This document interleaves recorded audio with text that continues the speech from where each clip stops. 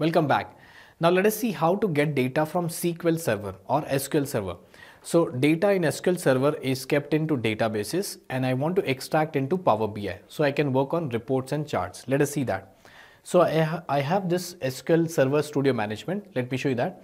So in this I have this database. I have this PQ sample that's a database and I have this dbo.orders that's a table here. Okay, let me show you this table. So that's a SQL Server.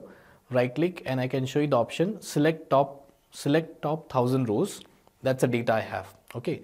I want to pull this dbo.orders into Power BI how do I do that? So first of all I have to come to Power BI and then click on this get data and I have SQL Server. Or also you have default option SQL Server. So once you open that it will ask you the server name and the database. So server I have kept it here. Let me right click and see the option as properties and from here I can just copy this server name. So select this, right click, copy, and I can just come to Power BI and I can paste it here. Okay. Yeah, paste it here. Database, I can keep it optional if I want, or if I have the name of the database, I can put it here. Next one, import and direct query. Uh, direct query is the live connection. Any changes made in the SQL server will be automatically reflected on all the visuals, all the reports here. The import option is nothing but it is bringing the data into a compressed format into a cache memory.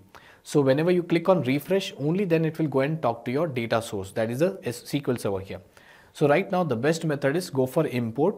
If you do not want the live data, definitely go for import. Plus, if you want to write some advanced SQL functions here, SQL queries, you can write it here. Select star from particular table, data source and so on. Now, so that's a method. I can just click on this OK button so once you click on OK, it will connect to your SQL server and this credentials you have to enter and I'll just click on connect. Click on OK and here I have in the database.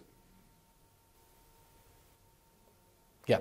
So once you connect, I can see my SQL server data source is connected. I can just open this PQ sample and in this I have this orders table. Let me select that orders table from this place and I can just click on transform or load data. Okay, so connecting to different data sources in Power BI is very, very simple here, right?